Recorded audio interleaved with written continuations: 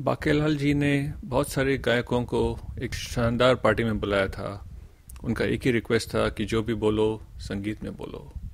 तो शमशाद बेगम जी भी आई थी। उनको भिंडी दाल वगैरह चाहिए था तो संगीत में बोलने लगी। थोड़ी भिंडी, थोड़ी दाल, मुझे दे दो बाके लाल थोड़ी भिंडी, थोड़ी दाल, मुझे दे दो बाके लाल थोड़ी इमली परोसो, थोड़ा सा कचूमर, थोड़ी इमली, थोड़ी दाल। तलत महमूद भी आए थे।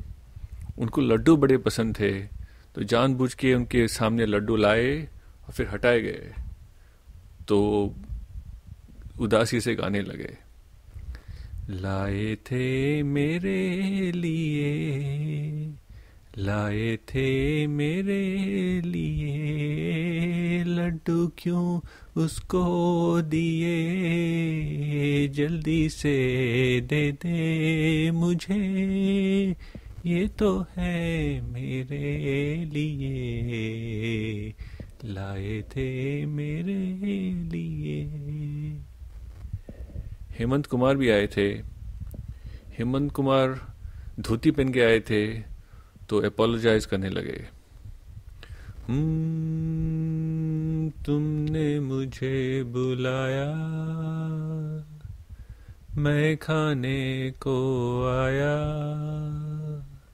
तुमने मुझे बुलाया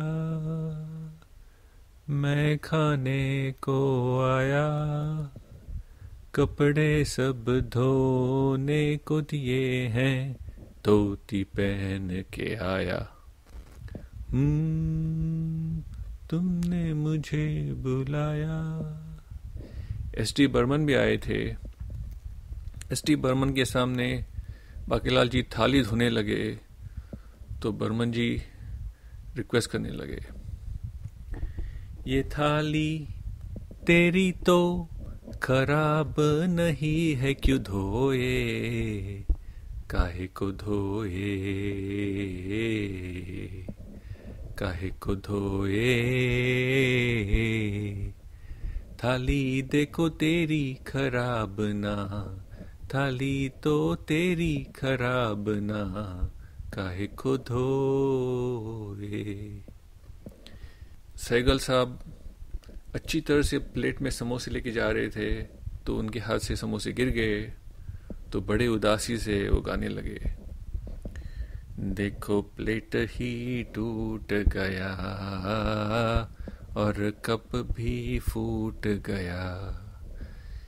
ये समोसे थे सभी के, खाने थे, चाय पी के। देखो प्लेट ही टूट गया। उम्मीदों की चटनी से समोसों को सजाया था।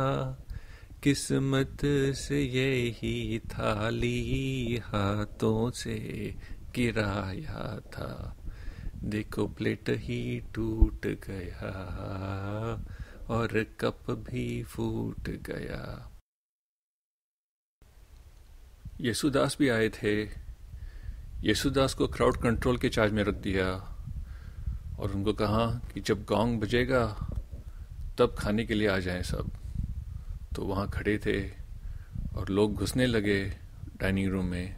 तो यशुदास जी बोले, जब गोंग बजे आना, तैयार होगा खाना। जब गोंग बजे आना, तैयार होगा खाना। ये बात हमारी मान भी लेना मेरा यार ना, घुस जाना। गर्म होगा होगा ये सब खाना रे, जल्दी से न तुम वहाँ, घुस जाना रे, जब गौन बजे आना। मुकेश जी भी आए थे।